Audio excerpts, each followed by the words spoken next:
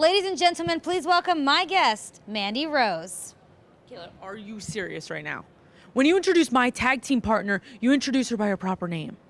God's greatest creation and superstar that pinned SmackDown Women's Champion Asuka last week, Mandy Rose. You think you can handle that? Can you do your job? Ladies and gentlemen, God's greatest creation and the superstar who pinned SmackDown Women's Champion Asuka last week, Mandy Rose. Thank you. Wow, Kayla, thank you for that extremely accurate introduction. But next time, you could put a little bit more oomph into it. I am God's greatest creation. I did pin Asuka last week, but I have some really exciting news for the entire world.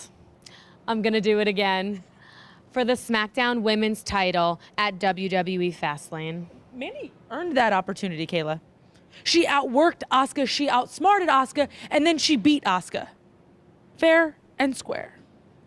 But some people might think that distracting your opponent with a phony eye injury isn't fair so much as it's che- Clever? Uh, genius? Sounds like Asuka wasn't ready for me.